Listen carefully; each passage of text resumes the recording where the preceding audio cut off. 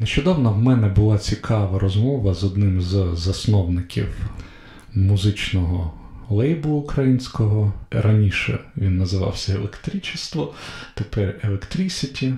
Це такий цікавий жанровий лейбл, у якого досить великий каталог артистів. Це інді, це андер, це жанрова музика. І у багатьох артистів з цього лейблу, скажімо так, є суттєві успіхи.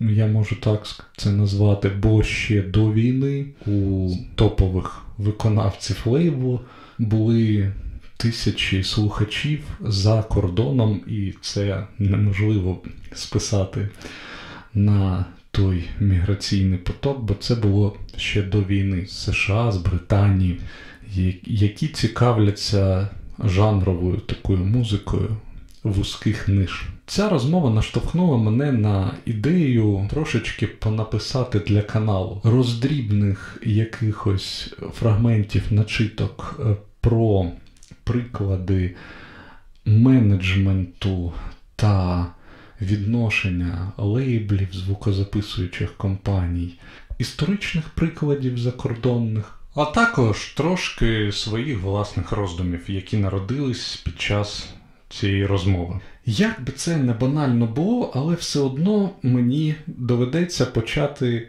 з історичних причин, а точніше, з до 91-го року конкурентний музичний ринок не міг існувати і не існував. Відповідно до цього не було фактично фахівців, які в цій сфері могли би працювати за законами ринка.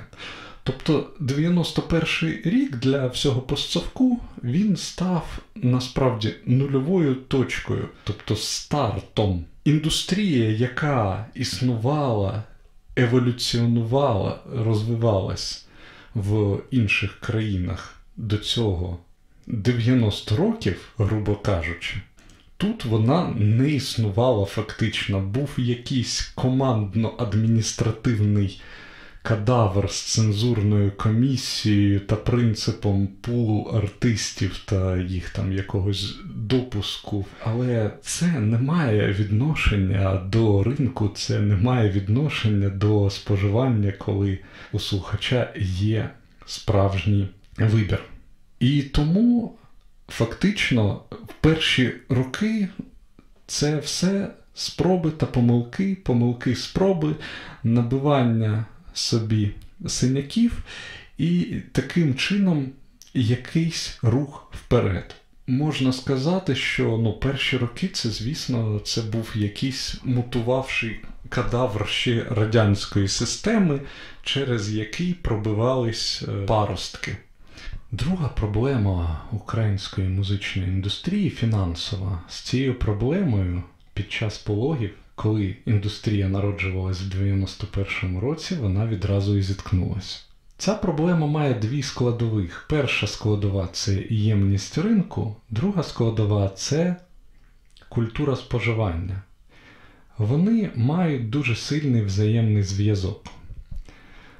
Давайте дивитись. Ємність ринку це можливий обсяг реалізації товару та послуг. Що таке обсяг реалізації товару відносно музичного ринку? Це касети, компакт-диски, вініли та мерч, тобто якісь футболки та інші речі з принтами там виконавця. Ми розглядаємо це як в 90-х, так і на сьогоднішній день.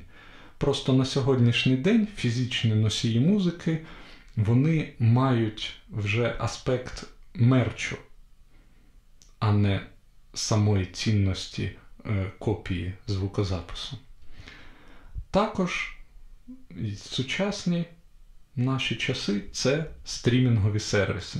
Можливий обсяг реалізації послуг це кількість людей, які мають фінансову спроможність та бажання відвідати концерт того чи іншого музиканта. Ємність ринку обмежена. Я наведу дуже простий приклад. Я не зможу вам сказати точного коефіцієнту, але в середньому, е, скільки я це обговорював із колегами, одне прослуховування умовно з Англії для Spotify чи з США дає українському виконавцю роялті приблизно в 10, можливо, трохи більше раз більше, ніж одне прослуховування людини, яка слухає його на Spotify в Україні. І тут ми переходимо до культури споживання. Культура споживання, вона насправді дуже, дуже, дуже пов'язана з фінансовою спроможністю населення. Бо в 90-ті роки та нульові значну частину обсягу проданої музичної продукції складали піратські копії. Так, сьогодні стрімінгові сервіси та їхня доступність зламали хребет ринку піратської продукції. Просто немає сенсу більше цю музику купувати в якомусь контрафактному форматі дешевому. Тарифні плани стрімінгів мають навіть безкоштовні з рекламою. Тобто це втратило будь-який сенс. І це нормально. Але важливо розуміти, що саме в 90-х та нульових, коли індустрія тільки вчилась ходити як дитина, е, по ній був завданий цей удар. А як же культура споживання та ємність ринку зараз грають роль? Ну, окрім того, що сама ціна прослуховування від українського слухача майже не приносить якихось роялті, ми можемо подумати: окей, є розважальні заходи і є концерти. Як там щодо цього? І тут я можу навести приклад. Інді-артист, назвемо його Вася, має майже 8 тисяч слухачів на спотіку. Але на концерт у столиці в Києві, де проживає багато людей, платоспроможної аудиторії досить багато. На концерт, де виступає він не в соло, а виступає ще пару груп, приходить умовно там від 50 до 100 людей. При там умовних 8 тисячах слухачів.